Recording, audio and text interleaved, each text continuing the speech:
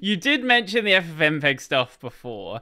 So I've joked about like recording videos and streaming with FFmpeg because you can do it. Like FFmpeg is incredibly powerful and You most can. people don't understand like what it can do. But you actually record stuff with A lot of FFmpeg.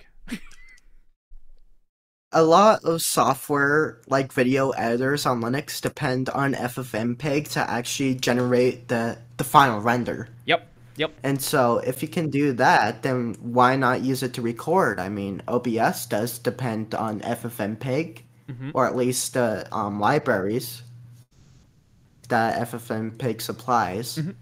And so it's like, if OBS can do it, why not just go straight to the source? And so you just use FFmpeg to record everything and sometimes stream and take screenshots.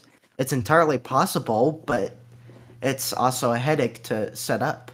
Right. Well, I'm, I'm sure like once you've got it set up, you're not going to be running the you're like you're not going to type the command out every time. You just have like a, a script for it or an, an alias for it just to like you know get something done in the next hour. Uh, but it's getting Yeah. that With- first with stage done. Hmm? Yeah, with DWM, I just have custom keybinds, and those custom keybinds just launch scripts Mhm. that actually contain the FFmpeg commands. And so that's just what I do. So if you're I just use keybinds, and if if I wanted to monitor output, Mhm. then I just go into a terminal and type in the script name, Mhm. And just do it that way. Mhm. So if you're doing like a screen recording of like with FFmpeg, like what does that command actually look like? Like how big is that command? Messy. Actually, if That's you what can it looks like. if you can find the script, can you just like dump like the script into Discord? Oh yeah, totally. Uh, let's do that.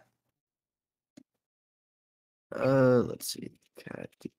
Um, yeah, we can just do the.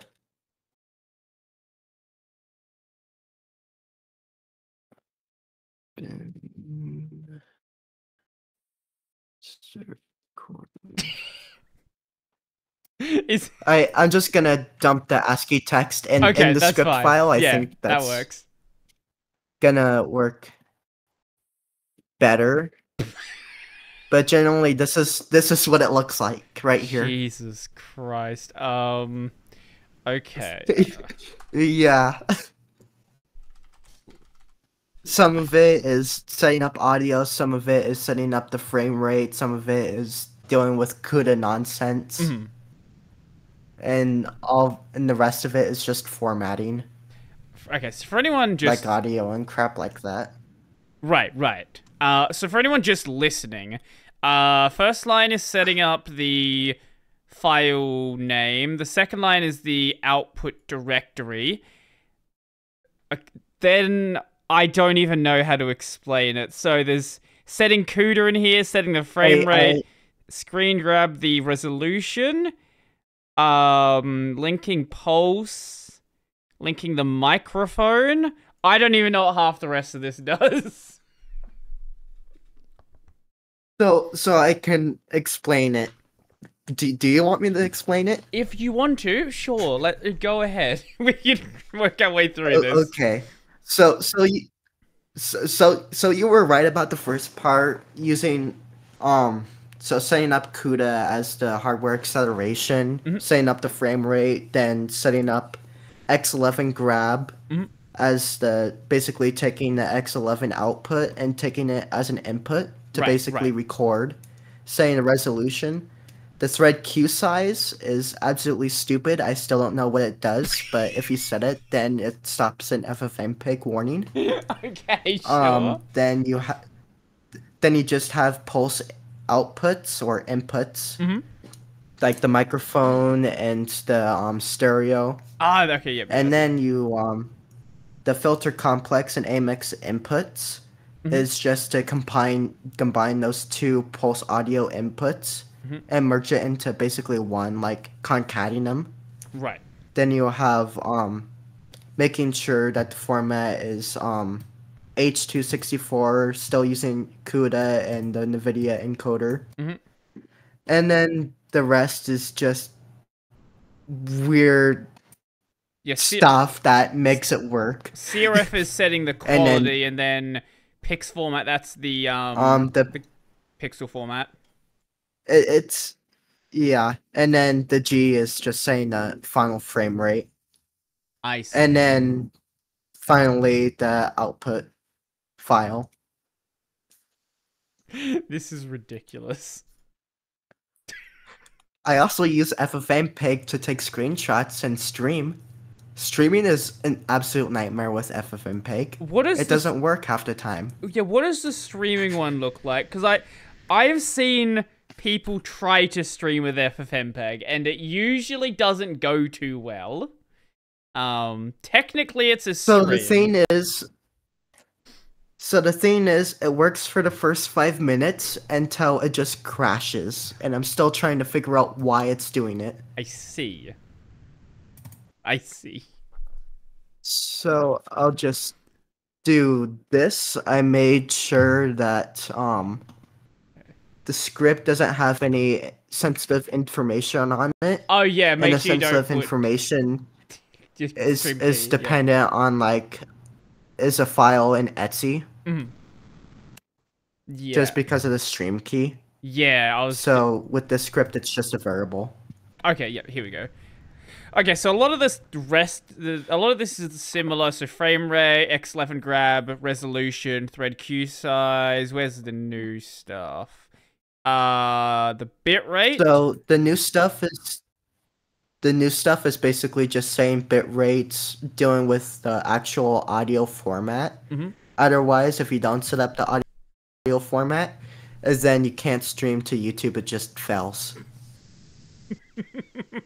with Twitch, you could you could probably not set it up, but it probably will still fail because probably the way of how RTMP handles things. Mhm. But This is nonsense. Screenshots are actually a lot more simple because you don't have to depend on audio. It's just I would grab imagine. one frame of the X11 grab, Mm. input, and output it. Output a single frame as a PNG file. Mm-hmm. Why? Why FFmpeg? You know, that's a good question. I hate myself. Fair, fair. Uh, there are very Ba- lightweight tools you could use that could take screenshots and like to record video. So basically, the way this started Mhm. is I wanted to compile OBS. Sure. The problem is that OBS switched over to Qt6 and doesn't allow Qt5 builds anymore. Mhm. And so I tried to compile Qt6. It failed because um FFmpeg nonsense with libav util or whatever it was, and Mhm. so I just c- couldn't compile Qt6. It would just fail, and I couldn't diagnose the issue at all because I compiled FFmpeg normally. So I didn't know what was the issue, so I couldn't compile OBS. Mhm. And so I was like, you know what? OBS uses FFmpeg. Why not just use FFmpeg? Mhm. And so that's why I now use it. but with a new fresh installation, Mhm.